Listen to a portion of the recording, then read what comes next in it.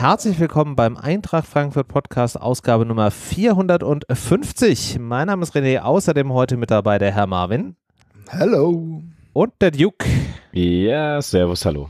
So, die anderen äh, sind in sonstigen Freizeitaktivitäten, Urlaub, Arbeit, was auch immer unterwegs. Deswegen dürfen wir uns heute in kleiner Runde dann gleich über das Thema Fußball unterhalten. Aber wie sich das gehört, am Anfang möchten wir Danke sagen für die viele Unterstützung. Ich habe diesmal niemanden explizit rausgepickt, nicht äh, weil es nicht jemanden gegeben hätte, den es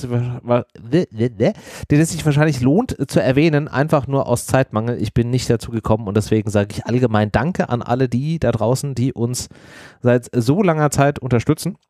Und nächste Woche habe ich wieder Namen parat und wenn auch ihr irgendwann mal namentlich vielleicht erwähnt werden wollt, dann schaut ihr mal unter eintracht-podcast.de vorbei, da gibt es eine Supportseite und da findet ihr alles, was ihr dafür wissen müsst. So, und jetzt unterhalten wir uns äh, über Fußball am Wochenende die Eintracht gegen Köln.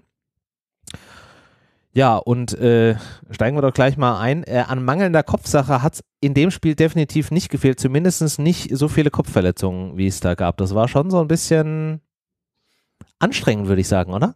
Wow, I see what you did there. das ist auf jeden Fall anstrengend und noch anstrengender für die Armen gewesen. Also Timmy Chandler hat mir extrem leid getan und wenn du oh ja. seine Wunde dann hinten gesehen hast, dann wusstest du schon, okay, das ist ein absoluter Fighter, aber da muss ich ja auch sagen, ähm, jetzt mal losgelöst davon, dass das auch durchaus problematisch ist, weil normalerweise ähm, ich habe so ein bisschen das Gefühl, dass die, die Bundesliga da nicht so wirklich viel drauf achtet, was jetzt mit Gehirnerschütterung ist und auch, dass er dann auch noch weitergespielt hat. Das ist ja, der ist ja gerade an einem sehr sensiblen Bereich des Hinterkopfes getroffen worden. Also das hätte auch echt anders ausgehen können.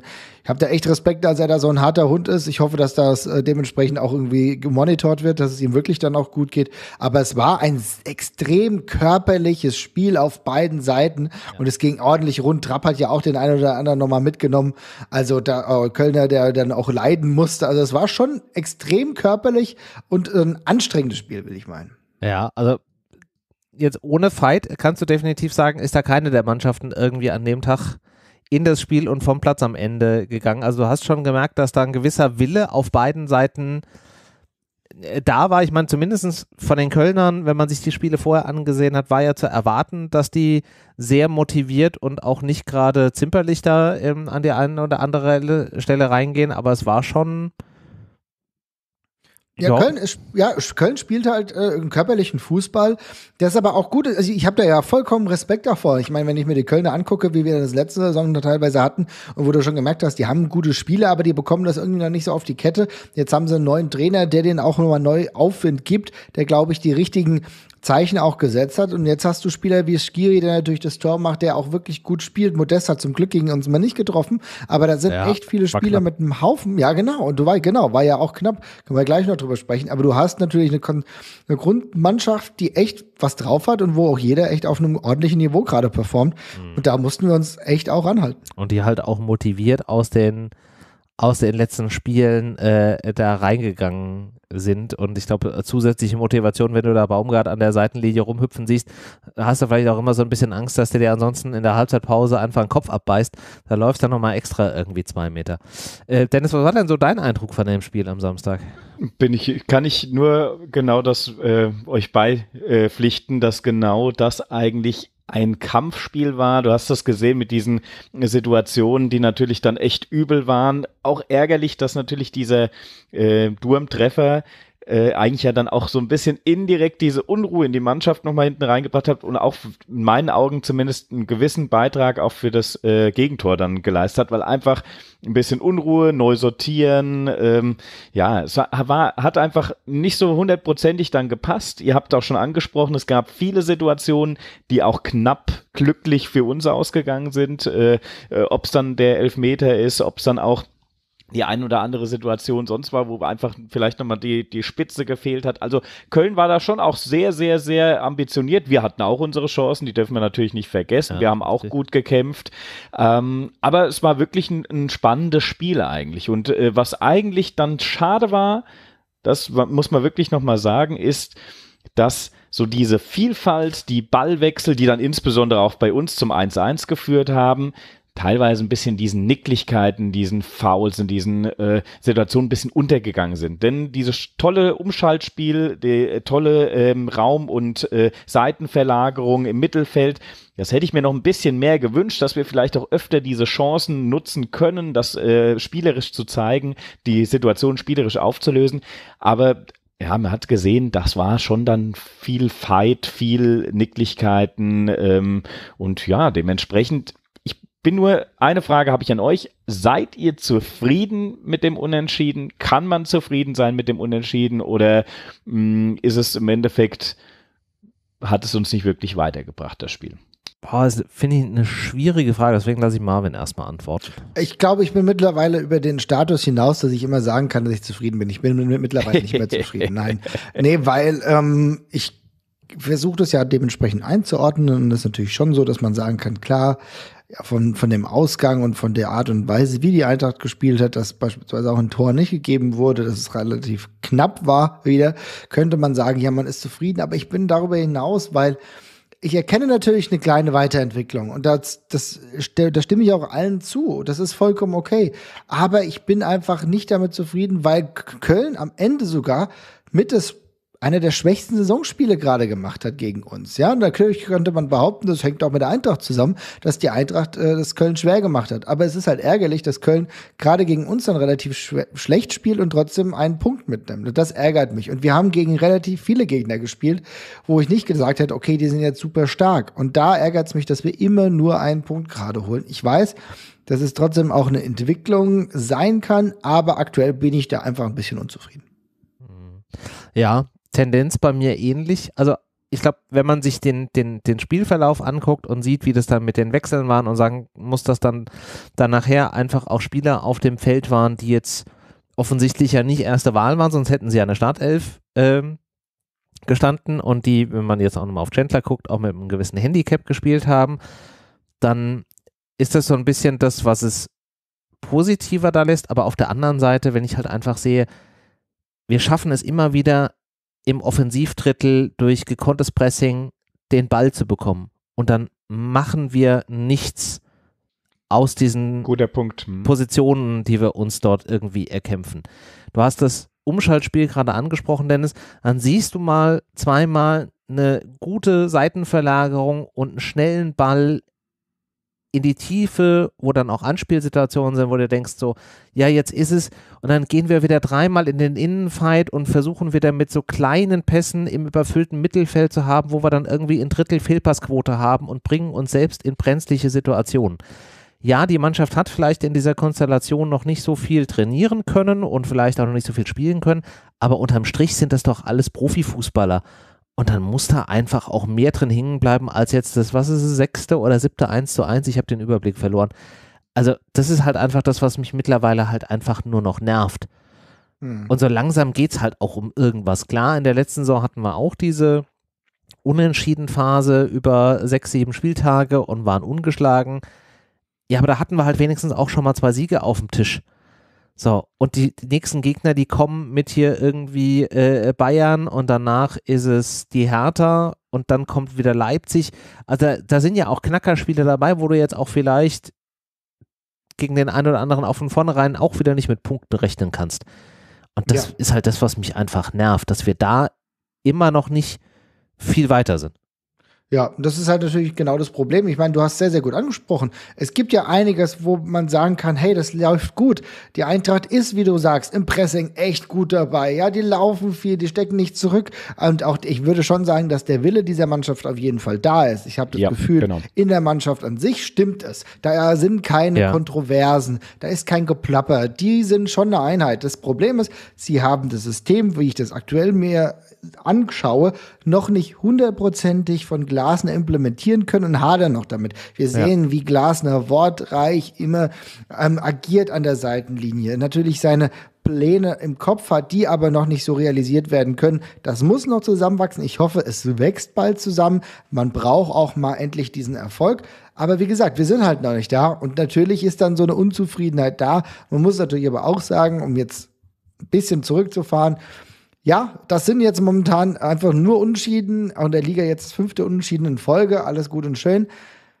es geht ja noch anders, wenn ich mir andere Mannschaften angucke, die größere Probleme haben. Da brauche ich gar nicht Fürth nennen, aber ehrlich gesagt auch die Härte, auch wenn die mit einem Punkt vor uns steht, das sieht nochmal ganz, ganz anders aus. Und die haben trotz der Tatsache, dass die über uns stehen mit einem Punkt, aber andere Kisten, andere Probleme, auch Augsburg, Bielefeld. Ich glaube, das sind alles Mannschaften, die könnte man oder sollte man hinter sich lassen. Trotzdem ist es wichtig und auch relevant, dass wir davor waren. Und gleichzeitig fand, fand ich es gut, dass du sowohl das Pressing angesprochen hast, als auch eine gewisse Spritzigkeit des Teams, die ja durchaus da ist. Wobei Aber man natürlich auch dazu sagen muss, ganz kurz noch, die Eintracht hat, glaube ich, auch bis auf die Bayern die zweitmeisten Sprints generell in der Liga. Das liegt aber auch einfach daran, dass sie so oft im Mittelfeld den Ball verlieren und dann hinterherrennen müssen. Ja, also da muss man halt auch immer so ein bisschen aufpassen, wie man sich diese statistischen Werte dann da anguckt. Ja, ähm, ihr, ihr, habt das aber doch schon ideal auch ausgedrückt. Die, eigentlich stimmt es, die Moral stimmt, der Trainer versucht auch äh, zu intervenieren. Du hast gemerkt, die Aufstellung, ein Chandler, und ein Durm äh, zeigt ja schon, er versucht ja auch da die, äh, ich sage jetzt mal, die Performance-Probleme, die wir die letzten Wochen ja immer wieder angesprochen haben, gerade über die Außen, irgendwie individuell und durch äh, ja auch mal Wechsel vielleicht zu kompensieren. Dann kommt so ein Mist wie äh, am äh, vergangenen Spieltag, dann hast du im Endeffekt diese schnelle Verletzung von äh, Durm, dann musst du doch äh, wieder äh, Da Costa auf die Position stellen und da muss ich wirklich sagen, es war halt wirklich wieder schade. Da fehlt einfach die Präzision, das Selbstbewusstsein fehlt einfach teilweise auch äh, bei einem Da Costa im Moment noch. Deshalb Marvin, ich bin schon voll und ganz bei dir, dass sie teilweise das System von äh, Glasner noch nicht umsetzen können, aber selbst wenn er sagt, wir pressen, wir holen uns die Bälle früh und das funktioniert, ist es halt teilweise so, dass die individuelle Klasse und vielleicht auch die aktuelle Formkurve noch nicht erlaubt, dass wir eben jeden dieser Bälle ja, zumindest gefährlich aufs Tor bringen, sagen wir es mal so. Weil da waren Chancen dabei, auch gegen Köln habe ich einige Bälle gesehen, die auch ein Da Costa reingebracht hat, wo ich gedacht habe, ja, sie kommen schon in den Strafraum, aber wie schade, Im dass hier nicht Sinn. einer da ist. Genau, ne, schade, dass hier nicht jemand da ist, der äh, ähnlich wie ein Kostic auf der anderen Seite die Dinge dann wirklich auf den Mann bringt, weil dann hättest du natürlich da entsprechend deshalb. Es sind viele Sachen. Ich hoffe, es kommt noch oder es sind ein paar Ausschla äh, mal wieder so eine Überperformer äh, ähm, Spielrunde von einem Da Costa auch, der dann vielleicht mal drei, vier Spiele, äh, zwei, drei Bälle dabei hat, die dann auch direkt auf den Mann kommen. Das weiß man halt nicht. Ich bin froh, dass ein Glasner das auch erkennt, auch versucht zu reagieren, dass dann sowas, das kann ich ihm ja nicht mal ankreiden. Früher oder viele äh, Spieltage vorher haben ja die Leute gesagt, ah, ein Glasner reagiert nicht, ein Glasner, der sture Bock, haben wir schon wieder so einen, ein Glasner erkennt das nicht, ein Glasner macht das nicht. Das ist meiner Meinung nach Quatsch. Das siehst du, er, er versucht schon, er versucht auch äh, beschreibend für die ganze Situation war auch, als er kurz vor Ende im Köln-Spiel diesen langen Sprint an der Seite hingelegt hat. Kostic, glaube ich, hatte dann noch was zugeflüstert bei dem Freistoß, wo da Costa gefault wurde, wo sich ja auch ähm, äh, der Kölner Trainer mega aufgeregt hatte dann, was ist hier los? Äh, das, das sind Situationen, da siehst du aber auch, der will das auch, der ist auch nicht zufrieden, der sagt auch nicht, ach na ja, jetzt äh, haben wir doch unentschieden gespielt, sind wir zufrieden, ist alles gut, äh, Friede, Freude, Eierkuchen, auch der ist unzufrieden, der will die beste Performance, der will gewinnen, das gefällt mir, die Mannschaft ist eigentlich in einem guten Flow, drin. Es muss nur einfach, erstens muss die Präzision her, zweitens müssen noch ein paar Automatismen her. Marvin, ich stimme dir da voll und ganz zu. Da sind noch Sachen drin, die einfach noch nicht so laufen, wie Glasner sich das sicherlich auch vorstellt. Und auf der anderen Seite ein gewisses Spielglück. Du hättest das Spiel hier auch auch wenn da jetzt alle sagen, ja, du hättest genauso gut verlieren können, weil dann Elfmeter und ganz knappe Entscheidung. Ja, du hattest aber auch genug Chancen, um, so, um zu gewinnen. Ne? Auch gerade bei dem 1-1, kurz zwei Minuten später hast du eigentlich das 2-1 auf dem Fuß und ja. äh, kriegst es nicht rein. Das hätte genauso gut sein können. Und es wird auch so Phasen geben, wo wir mal wieder Spiele gewinnen und vielleicht auch mal dreckige, äh, dreckige Siege feiern. Und Rugizugi redet keiner mehr drüber. Schade ist natürlich, du hast hier schon einige Punkte gegen Mannschaften liegen lassen, die du hättest vielleicht schlagen können. Das wird dir vielleicht am Ende der Tabelle und der Abrechnung dann ein bisschen hinterherhängen. Im Großen und Ganzen muss man aber im Moment mit der Entwicklung, um mal meine eigene Frage von vorhin zu beantworten, zufrieden sein, weil ich glaube, es wird viel versucht und es funktioniert halt noch nicht alles. Ja, ja, da gebe ich, da gebe ich dir recht. Äh, schön zusammengefasst und auch die unterschiedlichen Perspektiven ganz gut beleuchtet. Ich glaube, was du auch gesagt hast, ist natürlich, äh, dass trotzdem bei Einzelpersonen natürlich darüber gesprochen werden muss. Und das ist ja natürlich genau das, was halt auch immer noch nicht hundertprozentig passt. Na klar, Problem, der Costa funktioniert nicht so, war auch ein bisschen undankbar, musste relativ früh reinkommen. Hoffe, Durm geht's bald wieder besser war ja auch sehr, sehr unglücklich. Und dann ab der elften Minute hat er dann ein Spiel gespielt, bei dem er wirklich schwer reinkam. Ähm, das ist schwierig, genauso wie wir Lammers jetzt mal wieder gesehen haben, der gute Phasen und schlechte Phasen hat. Und auch gegen Köln war er eher unglücklich, um es mal mhm. Noch freundlich zu formulieren. Ja, Andererseits ja. ist es da aber auch so, dass ein Boré endlich sein Tor gemacht hat, auf dem wir lange gewartet haben, wo wir uns gefreut haben, dass er jetzt endlich mal sein erstes Pflichtspieltor war. Mhm. Da, da freue ich mich äh, und freue ich mich auch für ihn und diese oh ja. Kombination mit, mit Kostic zusammen ist super. Er hat sich endlich belohnt, ist ein absoluter Fighter. Wir sehen, es geht halt noch nicht zusammen. Also wir haben jetzt gerade nicht Boré und Lammers machen ein gutes Spiel. Der eine oder der andere genau. macht gerade ein gutes genau. Spiel und es muss irgendwann halt zusammenwachsen. Ich fand dafür aber dann die Aufstellung ganz gut, dass die beiden halt gemeinsam im Sturm waren. Das fand ich eine schöne Sache. Ja, wobei du aber auch dazu sagen musst, so richtig zusammensturm ist es halt auch wieder nicht, weil dann stehen sie halt nicht zusammen da vorne, sondern dann rennt Boré wieder irgendwie auch so auf der halbrechten Außenbahn darum.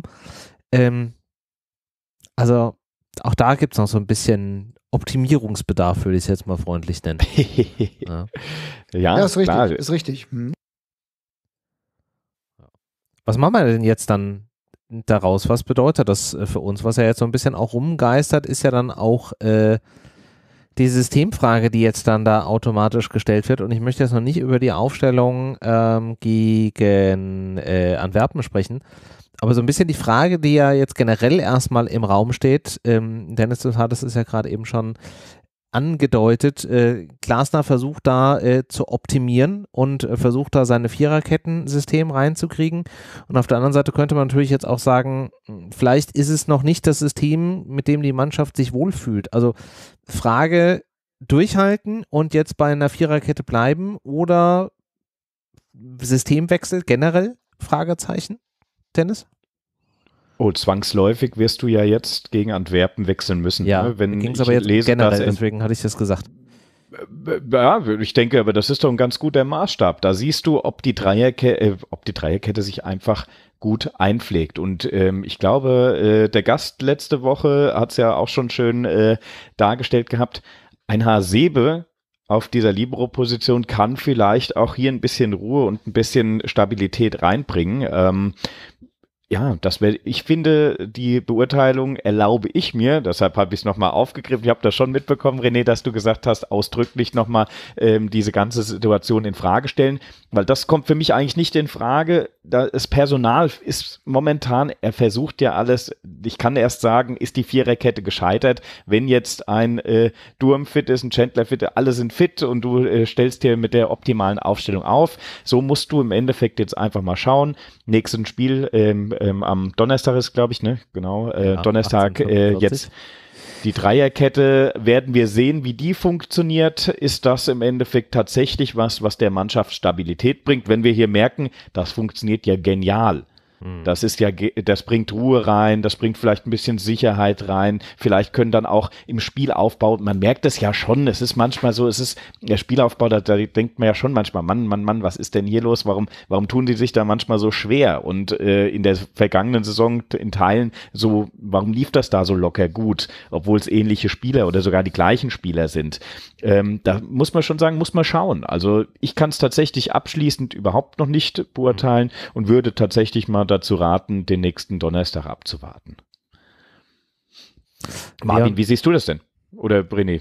Noch kurze Ergänzung. Leo, Leon schreibt gerade im Chat, dass das natürlich, wenn wir jetzt wieder das, die Systemfrage stellen, es niemals wird mit einem Umstieg auf Viererkette. Das ja. ist auch so ein bisschen äh, genau der Punkt. Punkt. Die Frage Punkt, ist, ja. haben wir jetzt äh, so viel Geduld noch in, im Kanister, dass wir das noch aushalten oder nicht? Ja, also ich sehe es genau so. Also ich glaube nämlich schon, äh, dass wir auch äh, ja beim nächsten Spiel erstmal die Viererkette noch mal weitertragen sollten. Also ich habe das schon die eine oder andere Idee, dass wir auch mit einer engen Besetzung vielleicht weiterhin in der Viererkette spielen könnten. Grundsätzlich wäre ich auch dafür, das jetzt durchzubringen. Mhm. Es ist schwierig, es ist ein Problem, aber jetzt die ganze Zeit umzuswitchen. Ich verstehe die Pro-Argumente, ich habe die Pro-Argumente für den Switch ja auch letzte Woche schon gesehen. Ich kann das absolut nachvollziehen. Für mich ist es halt jetzt trotzdem so, dass es noch nicht endgültig, auch wie du ja selber sagst, denn es ist noch nicht endgültig endgültig gescheitert ist, weil in den allerwenigsten Fällen konnten wir in Optimalaufstellung antreten. Deswegen wäre ich dafür, genau mit dieser Viererkette auch weiterzugehen. Ich glaube auch nicht, dass das jetzt das ja, ich erkenne das, ich erkenne diese Problematik, aber das ist ja auch nicht das einzige Problem. Und mhm. ich glaube, dass du der ganzen Situation keine Sicherheit gibst, wenn du halt wieder umstellst. Und ich mhm. glaube auch ein, ein, ein äh, Kevin Trapp, den ich aktuell leider, leider, leider nicht als sonderlich großen Rückhalt empfinde, der wird auch nicht mehr Sicherheit dadurch bekommen, dass du die Vordermänner ihn auch, äh, ihm auch wieder neu zur Seite stellst. Ich habe da kein gutes Gefühl und ich glaube auch er ist gerade in einer Situation, in der er Sicherheit braucht. Die könnte ihm übrigens ein Hasebe durchaus geben. Vielleicht wäre das gar nicht so verkehrt, äh, jetzt zumindest über einen kurzen Zeitraum ihn äh, wieder ins Spiel zu holen, könnte eine Option sein. Aber mit einem Systemwechsel macht man es womöglich nicht besser. Mhm. Ja, ich bin da auch noch so ein bisschen, äh, so ein bisschen hin und her gerissen. Ich bin ja großer Freund auch der Viererkette generell als äh, System. Und ich glaube auch, dass wir einfach diese in Anführungszeichen saure Gurkenzeit so ein bisschen ertragen müssen, wenn wir wollen, dass dieses System dauerhaft funktioniert. Ob wir dann dafür jetzt das optimalste Personal tatsächlich generell am Start haben, wird sich noch zeigen. Und ähm, ja, wie das mit dem Personal am Donnerstag gegen Antwerpen aussieht, da können wir ja jetzt mal so ein bisschen drauf gucken. Also, wir haben auf der Verlisten, Verletztenliste weiterhin äh, Seppelrode, was ja klar war, dass der noch ein bisschen ausfällt. Lenz hat sich ja jetzt auch gezeigt, dass er auch länger ausfällt als äh, ursprünglich gedacht, wird auch gegen Antwerpen nicht spielen und sehr wahrscheinlich auch gegen die Bayern am äh, Sonntag dann nicht. Äh, Durm fällt mindestens mal gegen Antwerpen auch aus. Er hat sich ja am Spiel am Samstag eine Gehirnerschütterung zugezogen. Da stand wohl jetzt schon fest, dass er nicht spielen wird. Und Endika wird auch nicht spielen können. Der hat sich ja mit der letzten Aktion gegen Köln eine Überdehnung im Knie zugezogen und hat da jetzt so ein bisschen äh, Probleme. Ich hoffe, dass es tatsächlich nur das ist. Ich bin immer so ein bisschen vorsichtig mal wieder geworden mit äh, Verletzungsaussagen der Eintracht und ob das tatsächlich so ist oder ob das nicht irgendwie so eine ganz große Wunderkiste ist. Das wäre natürlich dann der äh, maximale Worst Case.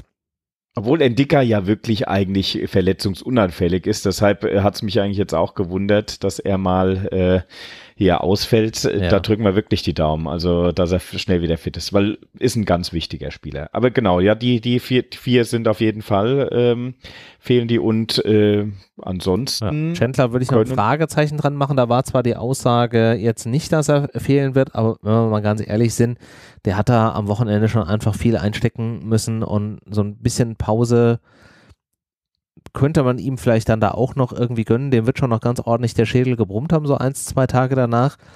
Dann nimmst du dir aber natürlich ganz viele Möglichkeiten, wenn der jetzt auch noch aus der, aus der Nummer rum raus ist. Das ist tatsächlich der Fall, ja. Ache ist, glaube ich, ja gar nicht nominiert, ne? Ache darf nicht spielen. Der hat tatsächlich ja keine, keine Freigabe für das Spiel. Genauso wie Younes, der ja auch offiziell immer noch äh, im Kader ist, auch nicht. Vergisst man so schnell, ja. Mhm. Also auch das Thema, wo ja die Aussage der Eintracht war, in den nächsten Tagen hat man das entschieden. Diese Tage sind jetzt auch schon was länger her, ne? Ja, ist richtig. Genau. Also die dürfen nicht spielen, beziehungsweise Younes nimmt auch, glaube ich, überhaupt nicht am äh, Trainings- und Mannschaftsbetrieb in irgendeiner Form teil. Von daher hätte der ja so oder so keine Möglichkeit. Ja.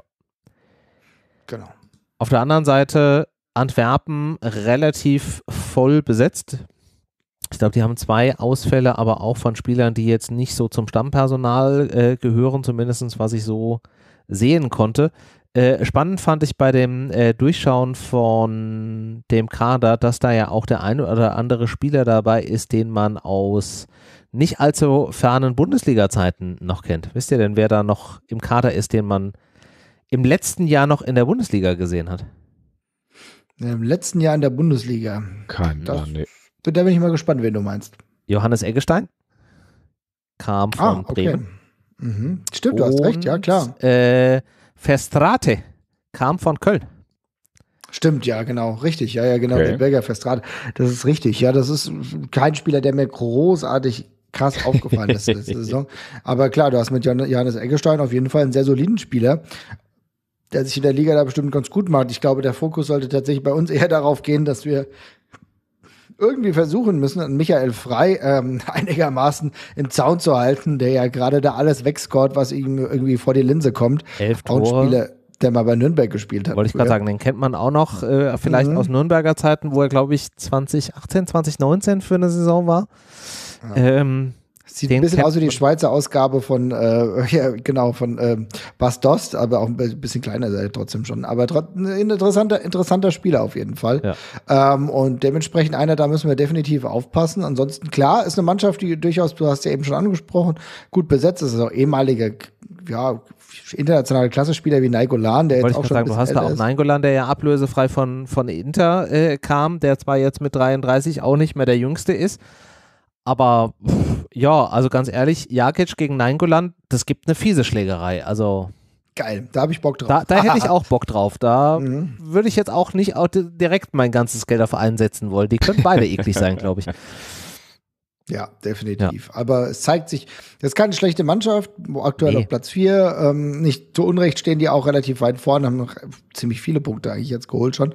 Also es ist nicht ganz unproblematisch, aber trotzdem muss man auch sagen, wenn die Eintracht, und das ist ja genau unsere Hoffnung, irgendwie eine Formation hinbekommt und elf Leute auf den Platz bekommt, dann ist da trotzdem ein bisschen was drin. Und ich, ich bleibe dabei, dass da auch was möglich ist und mehr als nur ein Punkt möglich ist damit leitet Marvin so ein bisschen den Weg Richtung Aufstellung tatsächlich ein. Jetzt bin ich mal gespannt. Was ist denn euer System? Marvin, du hattest gerade eben gesagt, du siehst auch noch Optionen für eine Viererkette. Welche siehst du denn da? Ähm, ich sehe eine äh, Option für die Viererkette und äh, genau, Hinteregger stelle ich natürlich erstmal rein und mit ihm zur Seite ähm, würde ich Hasebe stellen. Ja, einfach nur mal, damit wir da mal eine kleine Innenverteidigung haben, äh, die ja, sich auch kennt, die auch schon öfter zusammengespielt haben. Ich würde tatsächlich auf die linke Seite einen Chandler, von dem ich jetzt ausgehe, dass er wieder spielt, setzen. Ja. Und auf die rechte Seite äh, würde ich einen Touré, von dem ich jetzt davon ausgehe, dass er jetzt die letzten Wochen öfter auf der Bank schon gesessen hat, immer mal wieder, dass ich jetzt auch mal davon ausgehe, dass er vielleicht auch mal ein Spiel machen kann und dann äh, im Endeffekt von Beginn an auf der rechten Seite. Das ist meine Hoffnung. Äh, jetzt wird auch seine Zeit kommen. Besser wird's ja gar nicht. Also es gibt nicht noch mehr Ausfälle, dass ja. er dann irgendwann zum Einsatz kommt. Und ich hoffe, er nutzt dann dementsprechend die Chance. Da also würde so meine faire Kette aussehen. Spontan zwei Fragen zu. Zum einen ist Hasebe nicht zu langsam für so einen klassischen Innenverteidiger mittlerweile. Und die Frage, die sich direkt anschließt, ist, was bitte ist mit einem Tuta los, dass der jetzt die letzten zwei Spiele nicht mal im Spieltagskader war? Genau, das ist die Frage. Und die Frage, äh, die immer noch ein bisschen ungelöst ist, wobei wir aber schon sagen müssen, dass das, was wir in den Pressekonferenzen äh, von einem ähm, Oliver Glasner hören, dass es sich nicht so anhört, als würde Tuta jetzt, ähm, jetzt wirklich nah an der Mannschaft stehen. Und das sorgt bei mir für eine gewisse Skepsis und deswegen würde ich eher zu Hasebe tendieren. Deine Frage ist vollkommen berechtigt, dass man jetzt sagen könnte, klar, der ist jetzt mittlerweile schon ein bisschen älter und vielleicht nicht mehr ganz so fit, aber ich glaube, man tut ihm, äh, fit ist er, aber nicht ganz so schnell, aber ich glaube, da tut man ihm ähm, Unrecht, denn es ist ein absoluter Musterprofi und ja, vielleicht geht ihm ein paar Prozent Schnelligkeit weg, aber ich glaube nicht, dass es jetzt gegen Antwerpen auf ein unfassbares Schnelligkeitsspiel ankommt und dann im Zweifel muss halt Hinteregger mal ein bisschen mehr laufen und dann ist halt der Hasebe derjenige, der ein bisschen mehr ordnet. Dann so ist es halt. Ich glaube, diese Möglichkeit ist trotzdem die qualitativ hochwertigste und ich glaube auch, dass ein Hasebe dieser Mannschaft in Sachen Ruhe, in Sachen Balance sehr, sehr gut tun kann, auch nach hinten eigentlich eine coole Sache, Marvin. Finde ich, gefällt mir auf jeden Fall. Das Einzige, wo ich da ein bisschen Magenschmerzen habe, ist, dass wir einen Hasebe, der ewig nicht gespielt hat, und einen Touré, der wirklich ewig, ewig, ewig nicht gespielt hat, hier auf, eine, auf der dann, ja, sag ich jetzt mal, äh, rechten Seite hätten. Das kann natürlich auch echt äh, ganz schöne Löcher reißen, einfach weil sie in dem Sinne nicht eingespielt sind. Ähm, deshalb bin ich eigentlich äh, dafür, Hasebe gerne, aber in der Dreierkette, denn dann darf auch mal einer da einen Fehler machen. Auch ein Touré darf dann mal einen Fehler machen auf der rechten Seite. Dann kannst du noch einen Tuta vielleicht reinstellen. Das äh, muss man sich der, halt überlegen. Der aber ja auch lange nicht gespielt hat. Der also, auch lange nicht gespielt hat, das stimmt. Aber also ich muss sagen, Touré, wie lange ist der, hat der, ist der ausgefallen? Ich weiß es nicht. Dann auch zu sagen, von Anfang an ist ja sowieso, pff, also das kann, das kann schon ein heißer Ritt werden für ihn. Ähm, wie gesagt, ich, ich hätte normalerweise gesagt, hier hat dann der ein oder andere, wenn du hinten fünf Leute drinstehen hast ähm, in, der, in der Defensivarbeit, kann auch mal der ein oder andere einen Fehler machen. Wenn hier bei der Viererkette und äh, ich sag mal, ein Touré die Abstände passen noch nicht, dann in Hasebe doch mal vielleicht den ein oder anderen äh, Sprint nicht so mitgehen kann, dann hast du natürlich da sofort so riesige Lücken. Und das ist in meinen Augen muss das nicht unbedingt sein, weil Marvin, du hast richtig angesprochen, ich denke, wenn du hier mit einer soliden Truppe, die einfach äh, auch ihre Systeme kennen, Hasebe liebt oder merkt man ja immer, dass er in dieser Dreierkettensystem am besten aufgehoben und das eigentlich am besten mit umsetzt, äh, dann würde ich fast den Leuten lieber das machen, was sie kennen, was sie können äh, und ja, würde dann im Endeffekt schauen, umstellen während dem Spiel wahrscheinlich eher nicht äh, oder kann man natürlich auch, aber denke ich nicht, dass das sein muss. Lieber aus einer starken Defensive auftreten und äh, die, das Altbewährte nochmal auspacken. In dem Spiel gegen Antwerpen jetzt. Ja, und zusätzlich auch nicht vergessen, ich meine, wir haben ja gesehen, äh, wie Glasner immer noch ähm, dem Hasebe zugewandt ist, auch wenn er ihn jetzt ja. aktuell halt nicht regelmäßig ja, ja, spielen lässt, beziehungsweise fast gar nicht, aber wir haben schon gemerkt, wie er von ihm schwärmt und wie weit außen vor Tuta ist. Wie absurd das jetzt wirken muss, wenn da ein Tutor trotzdem spielt, der jetzt letztes Jahr nicht mal auf der Bank war. Also für mich ist Sebe da die klarere Option. Man könnte auch auf Dreierkette gehen. Ich hatte ja davor schon gesagt, ähm, dass ich das trotz aller Schwierigkeiten gerade nicht optimal finden würde. Dementsprechend bleibe ich stringent in meiner Meinungsäußerung und würde dementsprechend Hasebe stellen. Aber die Probleme, die ihr dann erwähnt habt, die sehe ich natürlich trotzdem, glaube ich, dass wir ähm, ja nicht gegen eine absolute Weltauswahl spielen und ich glaube, dass das durchaus machbar ist. Und ich denke, dass es dieser, diesem Konstrukt durchaus gut tut. Klar, gerne. Touré übrigens letzter Spieleinsatz, neun Minuten im letzten Ligaspiel der Saison 21, äh, nee, äh, 2021 gegen Freiburg. 81. bis 90. Minute. Sehr gut. Okay. Dauert noch ein paar Tage. Aber wie gesagt, war ja länger verletzt und äh, so ist es jetzt.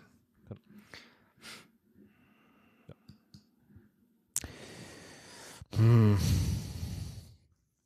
Ja, also wenn ich die Wahl hätte, dann würde ich auch so aufstellen, wie Marvin hat in der, in der Viererkette. Mir krummelt es aber irgendwie im Bauch und ich habe so ein bisschen die Befürchtung, dass anstatt Hasebe dann Ilsanker spielen wird. Was jetzt nicht meine präferierte Option wäre, aber ja, du hast recht. Also ist ja auch, also du hast ja vollkommen recht. Kann sehr, sehr gut möglich sein, weil er natürlich relativ nah an der Mannschaft ist, ne? Weil er natürlich relativ oft eingewechselt wird. Ja. Ähm, ist ein gangbarer Weg, wobei er zuletzt ja eher aus dem äh, defensiven Mittelfeld eingesetzt wurde. Aber klar, und das hat ja äh, Klaassen auch schon gesagt, für ihn ist Ilsanker auch jemand eher für die Innenverteidigung. Ja, ist möglich. Kann auch sein, ist sogar vielleicht sogar noch realistischer als Hasebe. Und rechts dann Touré auch, ne? Kein, ja. kein Wunsch. Also ganz ehrlich. Ja, für mich auch äh, nicht, Marvin. Nee, Wunsch auch nicht. Und zu deiner Frage, Dennis, mit Touré. Ich mag Danny da Costa sehr als Mensch und er hat einfach auch extrem viel getan, aber wenn ich so sehe, mein gut, klar, er hat jetzt am, am Wochenende den langen Pasta auf den Höge gespielt, der dann den Ball auf Boré und dann das Tor. Alles fein aber kann die eine Aktion dann über diese ganzen unnötigen Ballverluste und diese ganzen äh, Gedächtnisflanken, die dann sonst irgendwo im Nirvana landen, drüber hinwegtäuschen? Für mich nicht. Von daher wäre Touré tatsächlich mein Wunschspieler. Ähm, und er muss ja auch irgendwann wieder anfangen, einfach zu spielen. Von daher. Ja, das ist ganz wichtig, weil wir ja sagen müssen, Touré, der hat die Klasse eigentlich dann auch Stammspieler, wenn er fit ist, auf der rechten Seite zu werden, äh, gerade bei der momentanen Personallage. Also würde mir auch sehr gut gefallen. Äh, mir ging es einfach nur drum, oh, ewig nicht äh, gespielt, dann gleich, äh, ja, es ist ja auch immer mit einer gewissen die Motivation ist da bestimmt da, äh, hoffentlich dann nicht zu viel. Ähm, Gerade wenn du so ewig nicht gespielt hast, Europa League Nächte ist dann noch mal was anderes als der Ligabetrieb. Aber wie gesagt, kann auch ja. in die richtige Richtung gehen. Ähm, einfach Wäre cool. Wär, ich würde mich total freuen, wenn äh, sowohl Hasebe als auch äh, Touré hier Einsatzzeiten bekommen. Ich gehe auch voll mit mit euch. Ich sage, geil, finde ich eine coole Aufstellung, Viererkette mit dem, äh, was ihr beide schon gesagt habt. Und dann hoffe ich einfach äh, drauf, dass es und genau, bin, gehe auch davon aus, dass Roland Werben jetzt nicht jeden kleinen Fehler eiskalt ausnutzen kann. Okay. Und dementsprechend, ja, dann passt das schon. Und jetzt mal hier äh, ganz ein für Schlaubi Schlumpf. Du kannst natürlich auch Trick 17 machen und dann im Spiel mit diesen vier da hinten, jetzt bleiben wir mal bei Hasebe anstatt im Ilsanka, auch relativ bequem auf eine Dreier- respektive Fünferkette umstellen, indem du einfach Chandler auf die rechte dritte Innenverteidigerposition ziehst und Touré ein bisschen weiter nach vorne und dann bist du auch relativ schnell dann wieder in deinem Dreier-Fünferketten-System, äh, ohne dass du einen Spieler wechseln musst. Ist auch richtig. Klar. Ja? Trick 17. Völlig recht, ja. So. Hoffentlich nicht mit Selbstüberlistung. Genau. Ja, du musst jetzt natürlich hier gleich wieder die negativen Punkte auspacken, Dennis, ey. Mann, Mann. Ja, ich war eine Zeit lang nicht da. Ich muss hier ein bisschen negative Stimmung verbreiten, das weißt du doch. Ja, musst du, musst du nicht. Aber wir nehmen das mal so hin. ähm, ich glaube, an dieser Doppel-6-Kombination Jakic-So werden wir bis zur Wiederkehr des Seppelrode niemals mehr ein Fragezeichen dran schreiben, oder?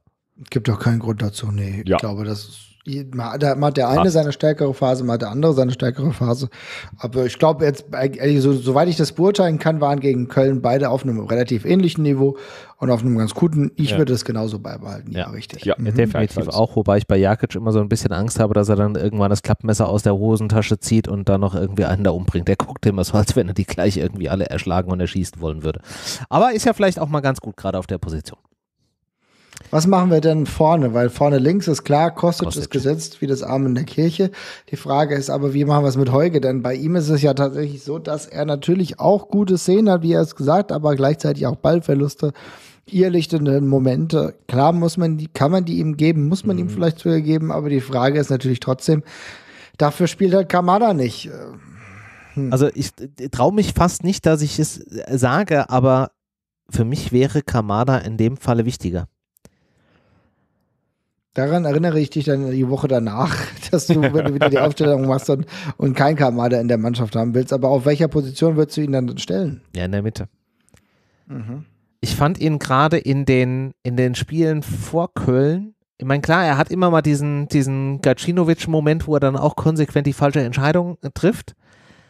Aber er war in den Spielen davor für mich einfach so ein immenser Fixpunkt in diesem Mittelfeld der Bälle angenommen, der Bälle wenn er die richtige Entscheidung getroffen hat, gut verteilt hat, der auch erstaunlicherweise Bälle festgemacht hat, der für mich mehr Bälle da vorne festgemacht hat als ein Lammers. Und wir haben einfach gegen Köln auch gesehen, was passiert, wenn wir da irgendwie keinen haben. Ähm, also für mich wäre Kamada an der Stelle tatsächlich gesetzt. Ja, also. Das merke ich mir, das merke ich mir, lieber René. Ja, ja. plötzlich immer wieder versucht man äh, auf euch, ja, wie soll ich sagen, milde einzuwirken mit Kamada, von dem wir ja wissen, dass er Licht und Schatten hat, aber natürlich hat er am Ende eine ganz, ganz große Qualität und äh, nochmal eine andere Qualität, als sie momentan Heuge vielleicht in Dauer zeigen kann. Aber Dennis, was ist dein Take dazu? Ja, du sagst es ja, man ist immer wieder überrascht, oder ich bin zumindest immer wieder überrascht, wenn man sich dann die Scorer-Punkte von einem Kamada anguckt und da unglaublich viele stehen. Ähm, nein, es ist tatsächlich, ich bin auch kein Freund von Kamada, das wisst ihr auch, aber ich denke auch, dass er in so einem Spiel wirklich einen Ausschlag geben kann. Er hat ja auch schon gezeigt, er kennt dieses ganze äh, europäische, internationale Spielen. Ich denke, dass er da wirklich ein, eine Bereicherung sein kann. Und ja, ich muss auch sagen, lieber in der Mitte, als dass wir versuchen, ihn darüber zu ziehen und ein Boré, der dann wahrscheinlich über die Seite kommen wird, um das schon mal von meiner Seite aus äh, vorauszunehmen, ähm, würde ich auch wieder stellen, denn jetzt gerade nach dem Erfolgserlebnis vom, vom Wochenende ist das eigentlich ein Muss, dass er spielt. Ich denke aber auch, dass du gegen so einen Gegner einen äh, Stoßstürmer wie äh, Lammers trotzdem vorne drin brauchst. Also dein Tick wäre Kamada in der Mitte und Boré auf rechts. Ja, ja. Ja, Gehe ich mit, gehe ich mit. Es ist genau das. Du kannst Boré nicht raussetzen. Der ackert das, so viel, der, der, tut so viel. Der und er hat das Tor jetzt auch gemacht. Also mhm. den, allein schon genau. deswegen musst du ihn eigentlich da wieder ein Stück weit belohnen. Ja. Und er hat ja auch in den Spielen davor den Job da auf der rechten Bahn nicht schlecht gemacht. Ich bin dabei. Also ich würde sagen, genauso machen wir es. Und Lammers vorne. Kamada, mhm. Ja. Aber bitte, Daichi, tu mir einen Gefallen, kein Torschuss. Such dir irgendeinen anderen. Weiß ich nicht. Gib's meinetwegen im Soul, lass den schießen, aber bitte kein Torabschluss. Bitte nicht. Nein. Aber wer weiß, vielleicht hat er es ja. Hat er auch schon mal, international hat er doch auch schon getroffen. Ja, ist richtig. Alles okay. Das ist richtig. Nein, auch Lammers, wie Marvin hast glaube ich, so schön gesagt, Licht und Schatten. Jetzt hoffen wir mal wieder auf einen lichten Moment am, am Donnerstag oder eine lichte Zeit. Nein, das, das ist schon wichtig, ja. dass er da, dass er da äh, auch Spielzeit bekommt. Auch der ja. muss, glaube ich, sich in dieses System finden. Und wenn Kostic ordentlich performt, ähm, ist es ja oft so, dass der, der Stürmer eigentlich gar nicht mehr viel machen muss vorne. Also hoffen wir einfach mal, dass der Lammers da gut steht und es ist alles perfekt. Ja, vielleicht erleben wir ja auch den Europacup ähm, Kamada, der dann dementsprechend noch mal eine Schippe drauflegt. So ist das, ja. Wir haben das ja schon öfter gesehen. Also ja. gucken wir mal, was ja. da im Endeffekt so möglich ist. Leon Aber schreibt auch just in diesem Moment, dass Kamada ja auch in der letzten Euroleague-Saison da äh, acht Tore gemacht hat. Also vielleicht kommt tatsächlich der torhungrige Euroleague Kamada da am, am Wochenende raus, dann äh, sage ich auch nichts dagegen. Genau. Ich beschwere mich da nicht. Mhm. Also nochmal die Aufstellung. Trapp im Tor, Chandler linker Verteidiger, Touré rechter Verteidiger, die Innenverteidigung, Hinteregger und Hasebe. Davor die Doppelsechs Jakic und So, die ich nach wie vor immer noch großartig finde. Links Kostic, rechts Bourré und in der Mitte Kamada auf der 10 und Lammers als Stoßstürmer. Und dann ist jetzt die entscheidende Frage, liebe Freunde, wie geht dieses Spiel denn aus. Und der Marvin steht hier zuerst in der Liste, deswegen kriegt er den Vortritt. Glück gehabt. Ähm, also ich würde sagen, wenn wir jetzt schon in Europa und wieder unterwegs sind, wenn wir wieder europäisch ähm, Gas geben wollen, dann bleibe ich einfach bei einem Zweckoptimismus und sage, dass die Eintracht ja diesmal mit 2-1 gewinnt. Ja. Okay, beziehungsweise 1 zu 2, wir spielen ja aus, richtig, richtig aufschreiben. Dennis, wie optimistisch bist du? Ich bin auch optimistisch und tippe auf ein 1 zu 3. Ihr habt gesagt, Kamada muss mal hier ordentlich performen ja. und äh, vorne Lammers mit Kostic. Ah, da geht schon einiges. Alles ja. Gut. Ich habe da so einen Tipp, aber ich traue mich nicht, ihn auszusprechen. ist, er habe, so, ist, er so, traumhaft, ja? Ja, er ist, er ist so traumhaft. Es fallen äh, vier Tore, nur leider sind sie halt gleich verteilt. Ich sag 2-2. Uh, okay. Ich weiß nicht, irgendwie. Traurig. Ja, sorry. Ir irgendwie irgendwie habe ich eher das Gefühl, dass das mal wieder ein Unentschieden wird. Hatten wir schon länger nicht mehr. Aber mit mehr Toren. Also von daher, eine gewisse Steigerung wäre ja drin. Jetzt aber ganz kurz, wärt ihr tatsächlich wie zufrieden, auch wenn wir das Spiel jetzt, das ist ja total in die Zukunft geguckt äh, und ja. wa wahrscheinlich im Endeffekt äh, überhaupt nicht richtig zu beantworten, aber ist es eigentlich wichtig in euren Augen, hier jetzt für die gesamte Trendwende zu gewinnen? Oder sagt ihr, ah, konzentriert euch an der Stelle doch lieber schon äh, auf die Liga. Nächstes Spiel ist natürlich. Nein, das, das nee, ganz, nee, nee, verstehe, aber ganz kurz, da will ich auch noch mal ganz kurz rein, weil ich verstehe die Leute nicht, die sagen, man soll sich jetzt auf die Liga konzentrieren. Das habe ich ja schon mehrfach nee, genau. Was ist los mit euch? Sehr wir sind gut. im Europacup und äh, wir haben alle Chancen, hier weiterzukommen. Immerhin mit einem Punkt jetzt gegen Fenerbahce. Das ist nicht so schlecht, ist nicht so gut, aber wenn wir jetzt drei Punkte gegen Antwerpen holen, wir wollen, die natürlich ist mehr als realistisch. Und auch, ähm, ja, ich weiß gar nicht, ob es überhaupt anders geht, aber äh, in Europa dann überwintern. ähm, und ich glaube, das muss ein Ziel sein, weil das kann der Motor für diese ganze Saison sein, dass du am Ende vielleicht mit Platz 12 in der Liga stehst, aber dich wenigstens einigermaßen in Europa wieder durchgekämpft hast. Ist ganz, ganz essentiell.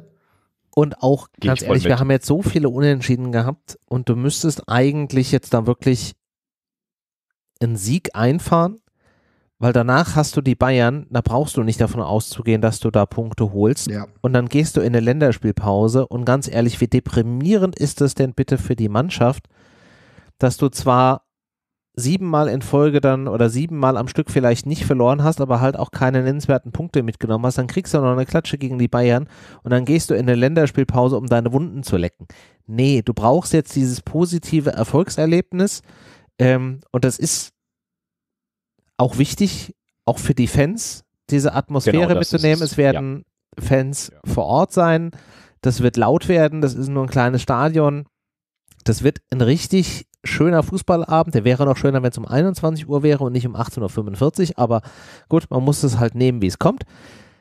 Und da musst du eigentlich komplett auf Sieg gehen und diese Nummer mit äh, die Liga ist wichtiger. Nee, wir sind in der Umbruchssaison in der Liga, wenn wir mit dem System Viererkette da jetzt durch wollen. Äh, das wird jetzt, ich will jetzt nicht sagen, sauren Gurkenzeit, aber das wird irgendwo im gesicherten Mittelfeld wahrscheinlich am Ende landen. Und dann musst du dir da deine Highlights mitnehmen. Also von daher. Ja, es, da, sehe ich ja genauso, dass man das vielleicht auch so ein bisschen als Seelenheil dann äh, hat, dass hoffentlich Marvin, ich drücke uns allen äh, die Daumen und bin auch überzeugt davon, dass hier Möglichkeiten bestehen, äh, diese Gruppenphase erfolgreich zu absolvieren und noch ein bisschen weiterzukommen, weil ich glaube, diese Highlights, René, genau, da gehe ich, geh ich genau mit, das ist eigentlich das, was die Fans brauchen, um diesen ganzen Liga-Klimbims. Du hast halt jetzt auch schon so viele Punkte vorne liegen lassen, das nervt dann und dann kann man sich so richtig schön reinsteigern. Das kannst du natürlich alles abschütteln, wenn du sagst, Mensch, äh, in der Liga ist ein bisschen äh, der Wurm drin oder zumindest am Anfang der Wurm drin gewesen. Der Durm Jetzt drin. hast du hier über die Euro, der Durm drin, genau, Dankeschön. Äh, nein, aber da, da können wir auf jeden Fall, äh, denke ich, also mir würde es auf jeden Fall einen Auftrieb geben, wenn die Mannschaft hier performt gegen Antwerpen und ich könnte mir sogar vorstellen, okay, gut gegen Bayern, es ist natürlich total unrealistisch, dass wir ähm, in der aktuellen Phase da und auch Bayern jetzt ja nicht unbedingt so schlecht mhm. performt, da mega äh, Punkte mitnehmen. Aber wenn du mit dem Selbstbewusstsein aus so einem Spiel kommst, ist das ja auch nochmal was ganz anderes. Und wir wollen doch nur sehen, dass die Mannschaft alles gibt, dass sie performt, dass sie im Endeffekt das umsetzt, was sie kann. Wenn es dann nicht reicht, dann ist es so. Aber da haben wir ja auch, denke ich, da äh, genug zu Antwerpen schon gesagt. Da ist sie mit Sicherheit was drin, wenn die Spieler an ihre Leistungsgrenzen gehen. Ja. Genau. Die sollen einfach ein geiles Spiel abreißen, am besten gewinnen, dann sich jeder am Ende noch eine belgische Waffel holen und dann ist doch gut. Hm? Und du hast es gerade eben angesprochen, äh, Seelenheil und äh, für die Fans. Und vielleicht sehen wir ja sogar im nächsten Heimspiel, was ja dann erst nach dieser Länderspielpause ist, ganz viele Fans im Stadion. Man munkelt von einer Zahl von 40.000. Marvin, was ist das denn?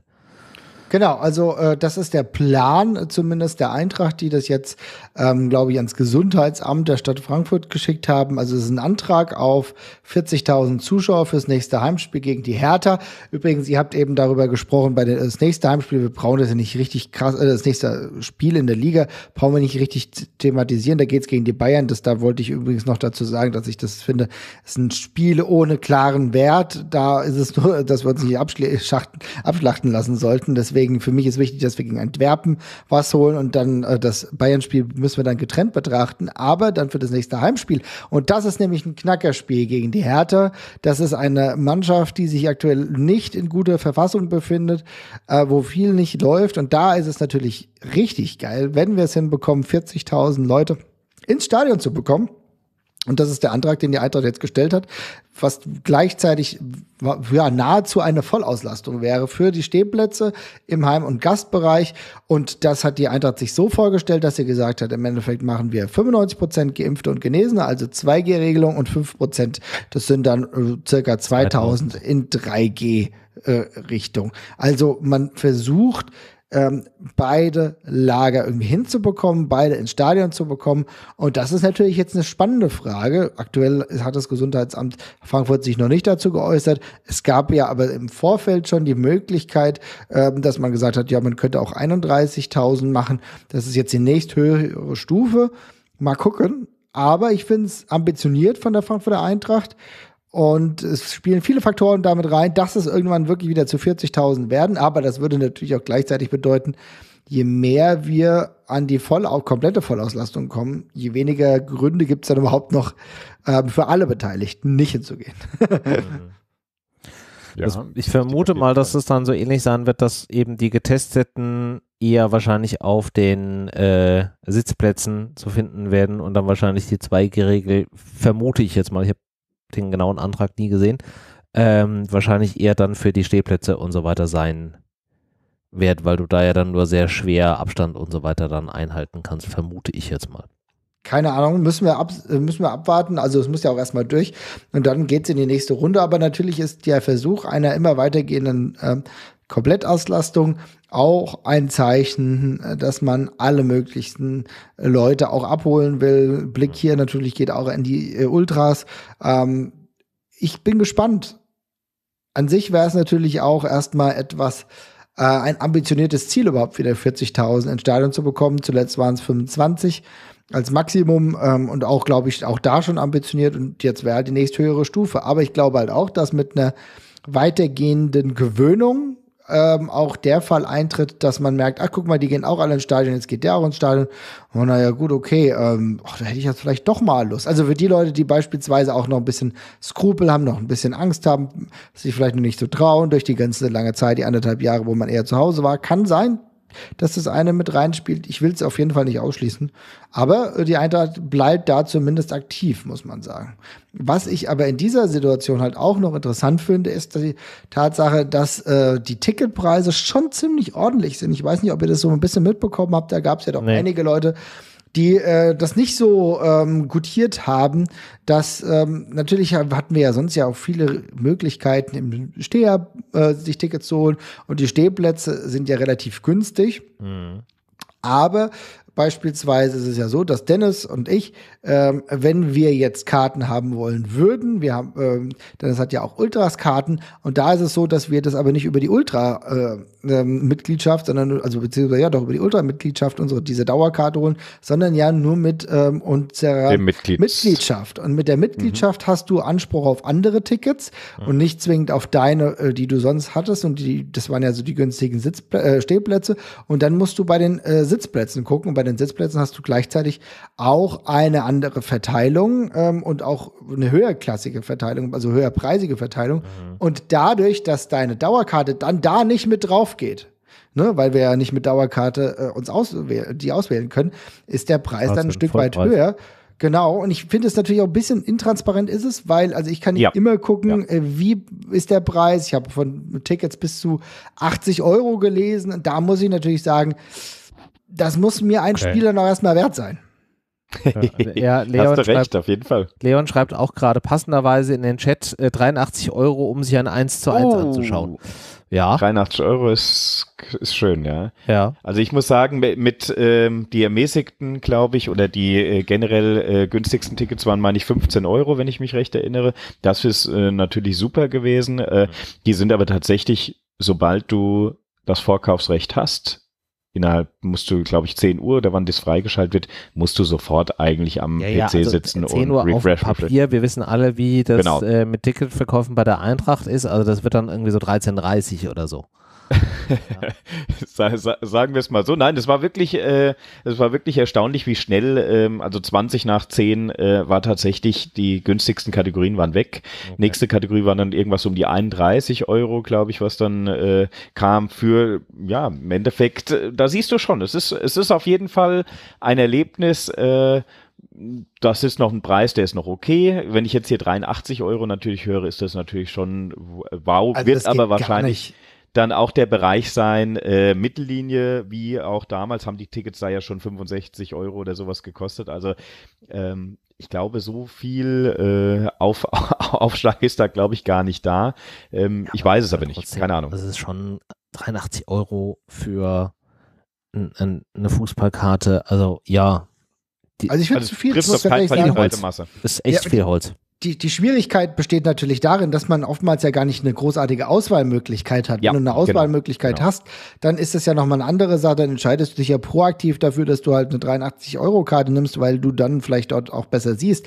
Das Problem ist ja, dass du je nach ähm, ja, Minuten, wann du dann reinkommst, wann du die Möglichkeit auf einen Ticketzugriff hast, dann nur ein be be äh, beengtes Kontingent angeboten bekommst. Völlig richtig, Marvin, genau. Und das ist natürlich eine Schwierigkeit, die ich echt nur schwierig zu vereinbar finde, weil 83 Euro, ähm, liebe Leon, ich kann das absolut nachvollziehen, wenn du da äh, sagst, Alter, das ist mir aber jetzt schon ein bisschen zu viel. Ich finde das absolut äh, krass und das ist etwas, da muss die Eintracht nochmal nachgucken. Also sie wollen ja auch nicht dem ähm, Vorwurf einer ja, wie soll ich sagen, anders wieder das Geld reinholen, äh, was ihnen durch die geringe Anzahl oder die geringe Auslastung flöten geht. Zu diesem Vorwurf wollen sie sich mit Sicherheit nicht aussetzen. Also ich kann, ja, keine also Ahnung, da muss man ein bisschen vorsichtig sein. Ja, klar. Ich meine, auf der einen Seite ist natürlich auch so ein Zwiespalt, in dem du bist. Du weißt, du hast nur eine gewisse Anzahl von möglichen äh, Tickets, die du verkaufen kannst, die ja deutlich unter dem ist, was du halt sonst normal bei Heimspielen ähm, hast.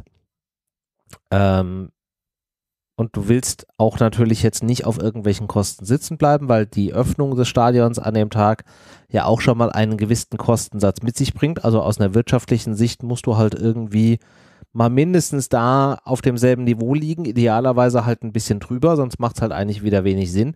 Aber auf der anderen Seite willst du jetzt auch die Fans nicht total irgendwie äh, vor den Kopf stoßen, weil du ja dann auch gerne hättest, dass die Fans wieder die Rückkehr ins Stadion äh, finden. Also ist schon so ein, so ein Spagat, Ding. Ich möchte das nicht entscheiden, ganz ehrlich. Wisst ihr denn, ich habe jetzt ja bei den letzten Spielen, es war ja am Ende nie ganz ausverkauft. Also jetzt zum Beispiel am letzten Spiel waren es, glaube ich, statt 25.000, 24.000, die im Stadion dann mhm. wirklich waren. Wisst ihr, ob das ähm, eher daran lag, dass einfach die Tickets kompliziert. Leute fahren dann auch nicht an dem Tag spontan hin und äh, kaufen es noch an der Tageskasse und es ist einfach untergegangen.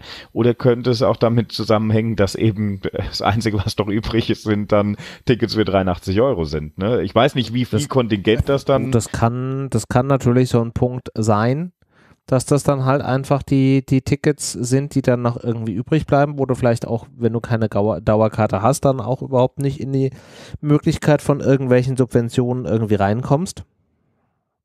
Möglich, ja. Dann vielleicht auch immer so ein bisschen der Punkt, äh, man ist es halt ja schon auch oder viele haben es in der Vergangenheit so getan, dass sie natürlich auch mit so einem festen Trupp von Leuten ins Stadion sind. Dann hast du eben eine begrenzte Anzahl von Karten. Dann will vielleicht auch nicht jeder, kann nicht jeder, weil sich nicht jeder die 83 Euro leisten kann. Oder vielleicht auch 60 oder was auch immer. Also ich glaube, da gibt es unterschiedliche Gründe. Aber ich könnte mir durchaus vorstellen, dass der Preis auch einen Anteil dann daran hat. Ja, und äh, trotzdem muss man auch sagen, dass durchaus das Stadion schon, also zumindest gegen Fenerbahce, ausgelastet war. Dass ja, dann ja, ja, ähm, der, der, der, der Block dann äh, beschlossen hat, äh, nicht reinzugehen. Ähm, Steher, das ist ja nochmal eine andere Sache. Die Tickets wurden aber verkauft. Also insofern, da war es äh, schon ziemlich, ziemlich voll. Ja, ja. Nee, stimmt. Danke, Marvin, nochmal. Ja, klar, logisch. Das muss man natürlich nochmal äh, getrennt äh, von sehen. Ich weiß es nicht. Vielleicht wurde auch, wurden auch die äh, Karten gegen Köln gekauft und die Leute sind einfach nicht hingegangen. Mhm. Das kann ich dir nicht sagen. Aber ja. ich hatte irgendwo gelesen, dass ähm, 24.000 da waren und für, mhm. ist ja das eigentlich die Regelung, 25 dürfen. Ja.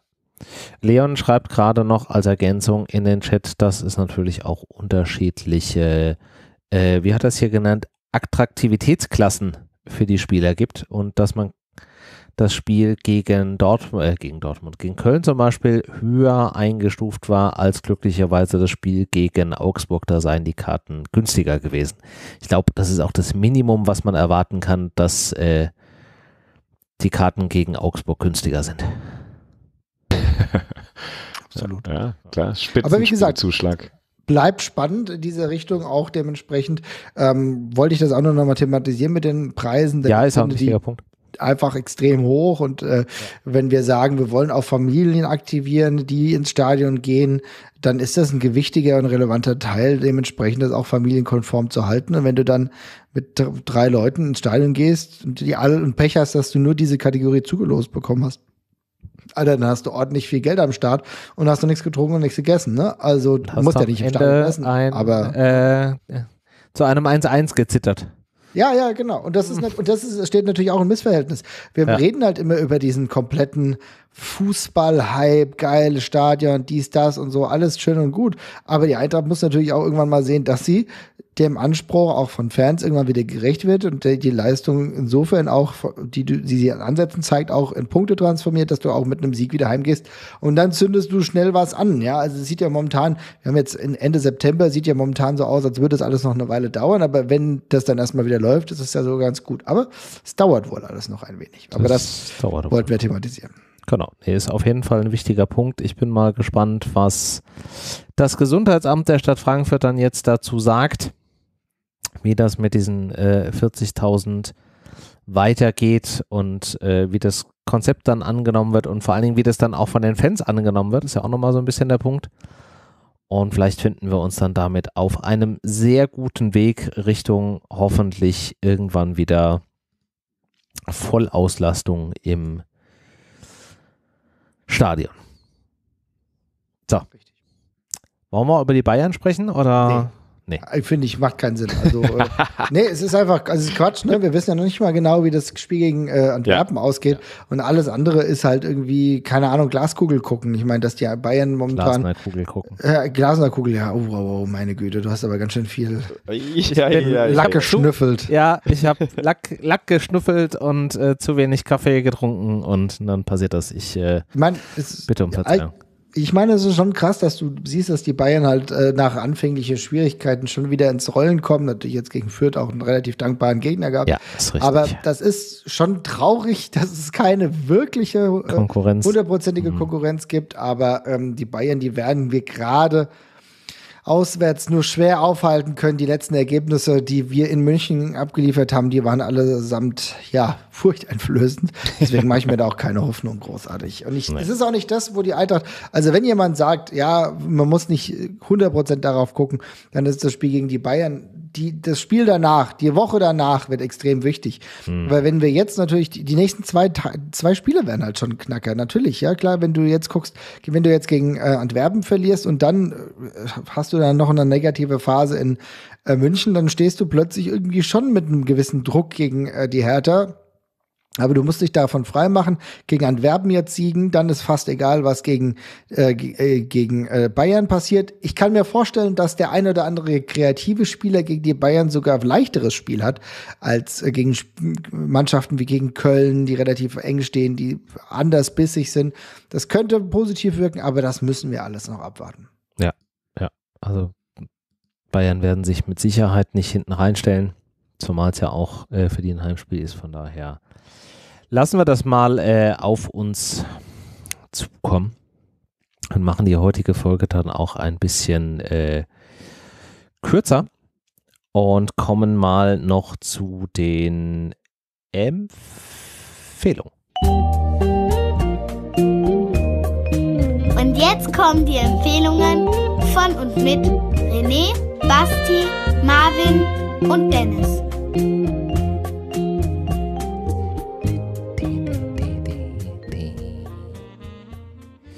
Ja, und äh, ich äh, fange jetzt einfach mal an. Der Marvin ist hier noch äh, am Tippen und dann kann der Dennis noch einen Moment äh, überlegen, was er vielleicht empfiehlt. Ähm, ich war am Wochenende bei der Wahl, äh, Bundestagswahl, ihr erinnert euch vielleicht noch, ist noch nicht so lange her, wieder als Wahlhelfer äh, unterwegs. Und ich bin von verschiedenen gefragt worden, wie das denn geht. Und möchte deswegen hier die Gelegenheit nochmal nutzen, Werbung zu machen, für das nächste Mal doch Wahlhelfer zu werden. Also nur nochmal, damit das äh, allen da draußen bewusst ist. Diese Wahlen, die da in regelmäßigen Abständen stattfinden und die ein sehr wichtiges demokratisches Instrument sind, können in erster Linie deswegen nur stattfinden, weil es Menschen gibt, die sich auf freiwilliger Basis an einem Sonntag für mehrere Stunden in einen unter Umständen schlecht belüfteten Raum setzen äh, damit dort Stimmen abgegeben werden können. Also das sind in den seltensten Fällen irgendwelche Menschen, die da hohe Gelder dafür bekommen. Es sind oftmals natürlich Menschen, die bei der jeweiligen Stadt arbeiten, aber auch die kriegen halt entweder einen Tag Urlaub dafür oder halt so ein kleines äh, Entschädigungsentgelt in Form von 30, 35 Euro. Und ansonsten passiert das halt alles freiwillig. Ähm, ist aber ein wichtiger Job und macht auch Spaß, diesen Prozess mal äh, mitzuerleben. Und äh, weil ich, wie gesagt, gefragt worden bin, wie man Wahlhelfer werden kann, ihr könnt euch einfach mal auf der Webseite eures Wohnortes, die meisten äh, Wohnorte sollten irgendwie sowas haben, also Städte, in denen ihr lebt, ähm, gibt es meistens so einen Punkt Wahl und dann kann man sich einfach in so eine Wahlhelferliste eintragen und dann wird man irgendwann, wenn wieder Wahl ist, vor der Stadt meistens angerufen und gefragt, so, äh, hätten Sie Zeit und Lust? Und dann kann man sagen ja. Und dann kriegt man dann so eine Art Einberufungsbescheid, so heißt es tatsächlich. Äh, dass man als Wahlhelfer äh, einberufen wird. Also ist nicht Bund, sondern Wahlhelfer. Ähm, und ab dem Zeitpunkt ist es dann auch verpflichtend. Also das ist dann tatsächlich auch ein, ein Ehrenamt, was man annehmen muss und soll. Deswegen wird man vorher gefragt und dann könnt ihr Wahlhelfer werden. Und das tut auch gar nicht weh, das macht äh, ganz viel Spaß. Und man kann äh, schöne Fußballbücher lesen. Ich habe am Wochenende mit dem Martin Hinteregger Buch angefangen zum Beispiel. Du alter Literat. Ja, das ist doch schön. Also erstmal Gratulation an dieser Stelle. Echt schön, dass du es machst. Und äh, vielen Dank für deinen demokratischen ähm, ja, Beitrag. Genau, und Dank an dieser Stelle auch an alle anderen Wahlhelfer äh, da draußen, wenn ich das äh, richtig gelesen habe, haben äh, bekannte Twitterati von uns aus äh, Hamburg auch als Wahlhelfer mitgewirkt. Also von daher äh, danke an alle Wahlhelfer und Wahlhelferinnen, die solche Prozesse möglich machen. Super gut. Sehr gut, sehr gut, sehr gut. Marvin, was hast du denn an Empfehlungen da für uns?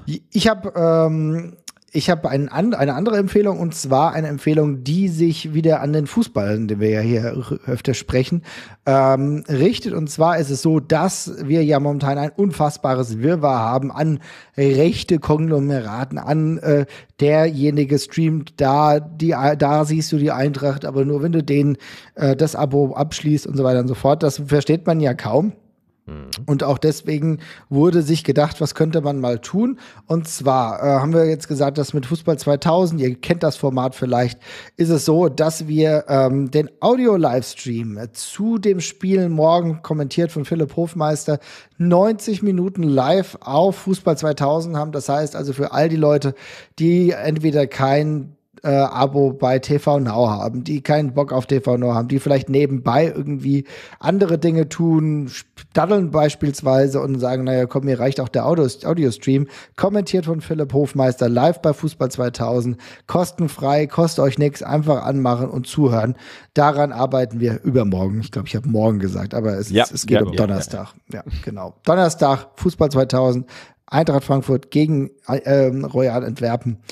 Fußball live. Ganz mhm. geil. Und es hat auch so ein bisschen Retro. Sehr gut. Finde ich cool. Finde ich echt cool, auf jeden Fall. Gute Sache. Gut. Was habt ihr noch an Empfehlungen? Hm, ich habe noch eine Empfehlung und zwar ist es ja tatsächlich wohl am Donnerstag, wenn ich es richtig gesehen habe, endlich soweit, dass der neue James Bond mal ins Kino kommt und dementsprechend sage ich, geht mal wieder ins Kino. Keine Ahnung. Nicht am Donnerstag. Äh, nicht am Donnerstag? Ja, gut nach. Nicht am Donnerstag ins Kino gehen, da müsst ihr äh, entweder Spiel gucken oder Spiel hören, wie wir gerade von Marvin gelernt haben. Ihr könnt ja, Freitag danach. Oder danach. Geht, geht, geht danach ins Kino. Also ich sag mal 1845, du hast ja schon die, die grauenvolle Anpfiffzeit genannt. Äh, da gibt es bestimmt noch die ein oder andere Vorstellung, die ihr danach besuchen könnt. Der Kinobetreiber eures Vertrauens wird sich auch über euren Besuch freuen. Ich glaube, das ist immer noch alles ziemlich äh, angespannt und dementsprechend, äh, also wie gesagt, die Kritik war ja bis jetzt ganz gut. Ich bin auch ein Freund der äh, James Bond-Reihe und äh, bestimmt nicht schlecht. Ich muss ja zugeben, ich habe so ein bisschen gefremdelt mit Daniel Craig äh, als James Bond. Am Anfang auf am jeden Anfang. Fall. Ja. Also ich meine, er Daniel ist, Craig. ja, er ist, er, ist auf jeden Fall Er ist auf jeden Fall noch nicht so schlecht wie George Lazenby als James Bond. Der ging überhaupt nicht. Ähm, aber ich hatte ein bisschen Schwierigkeiten am Anfang. Aber mittlerweile mag ich die Bond-Filme mit ihm tatsächlich sehr gerne. Ich bin tatsächlich auch gespannt auf diesen und habe ich schon wieder tatsächlich gesagt, verdammt. Tatsächlich. Ja. Tatsächlich. Aber ich freue mich. Ja. Ich freue meine Güte, es gab hier technische Schwierigkeiten. Ich wollte nur sagen, ich freue mich auch. Ich habe schon äh, Tickets für Samstag, uh, schön abends Kino, cool. äh, Sonntag, äh, für Sonntag schön abends Kino. Und da freue ich mich auf jeden Fall drauf. Ähm, endlich wieder James Bond. Ich bin ja so ein alter James Bond-Freund, also insofern kann ich deine Faszination durchaus teilen. Und hoffe, selbiger enttäuscht uns beide nicht. Was ist denn dein Lieblings-Bond-Film von allen? Oh, das ist eine schwierige Frage. Ich lasse mich da ja immer sehr berieseln. Oh, das müsste ich. Hm. oh, das müsste ich mal überlegen. Gib mir mal eine Minute und ich sag's dir gleich. Ja, ja dann äh, sage ich meine äh, zwei. Also ich habe tatsächlich zwei, zwischen denen ich so ein bisschen äh, schwanke. Das eine ist äh, gespannt, Leben ja. und Sterben lassen mit äh, Roger Moore und das andere ist äh, Goldfinger. Oh, Goldfinger ist stark, ja. Goldfinger ist tatsächlich auch so ein Film, bei dem ich ähm, ja wahrscheinlich könnte man fast sagen irgendwie so groß geworden bin. Ich habe meine die Filme früher immer mit meinen äh, Eltern zusammen geguckt und wir haben dann immer schön auf der Couch gesessen und haben uns diese Filme gegeben. Ich muss ehrlich sagen, ich mag ähm, sehr, sehr viele Filme. Ich fand Spectre auch ganz cool im Endeffekt. Ja. ja das hat mir schon so einen neueren äh, Film hat mir auch gut gefallen. Und ich muss aber auch sagen, ich war ein Freund, bin auch ein Freund von ein bisschen kitschig, aber Goldeneye fand ich schon ganz cool. Ja. Lässig, ja. ja. Am ja, besten war das Computerspiel noch, Marvin. Alter, das ne? Computerspiel war der absolute Wahnsinn. Das war doch ein N64-Computerspiel. N64, N64, ja. Ja, fand ich richtig gut. Und ich cool. fand halt auch Pierce Brosnan grundsätzlich als James Bond, das war schon nicht so schlimm. Ja, also wie ja, gesagt, es gab, es gab schlechtere Bond-Darsteller, definitiv. Mhm. Also es gab also, ganz schlechte.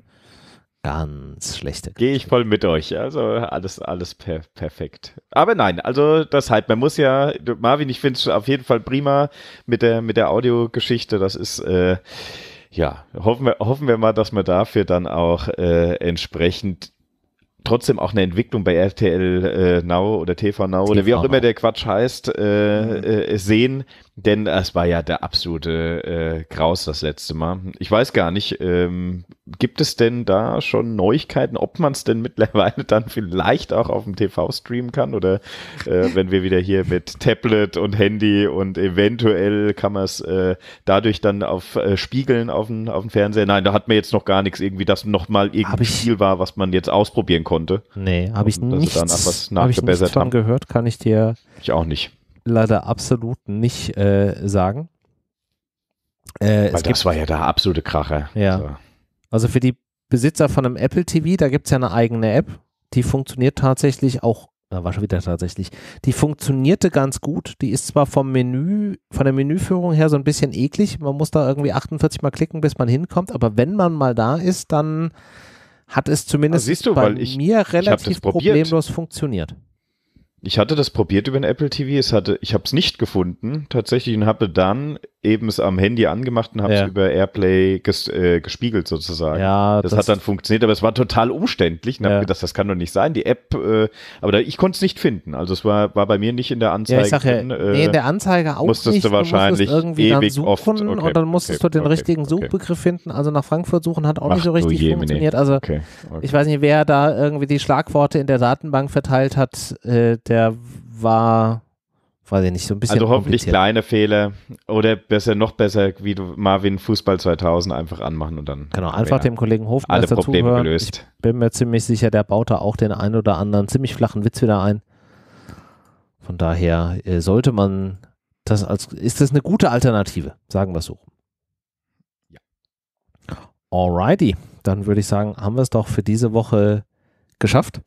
Wir sagen äh, Danke an allen da draußen, die äh, live zugehört haben oder das aufgezeichnet hier gehört haben. Wir wünschen euch eine wunderschöne Restwoche. Falls eine Sache habe ich noch. Eine Sache. Nicht nach Antwerpen fahrt, oh, möchte der Marvin oh. noch was sagen. Genau, mir ist aufgefallen, für diejenigen, die jetzt noch durchgehört haben, das müssen wir demnächst mal früher sagen, wenn ihr uns gerade auf Spotify hört, gibt ja einige, die uns bei Spotify hören, freut uns, finden wir cool, abonniert uns dort. Also lasst ein Folge ich dort, denn das hilft uns tatsächlich durchaus, jetzt habe ich auch mal tatsächlich gesagt, in der Gesamtbewertung bei Spotify. Also, ein letzter Satz noch. That's it von mir. Schönen Abend noch. Genau. So, und damit machen wir jetzt endgültig Schluss. Falls ihr nach Antwerpen fahrt, viel Spaß dort. Äh, feiert die Mannschaft, äh, feuert die Mannschaft ordentlich an.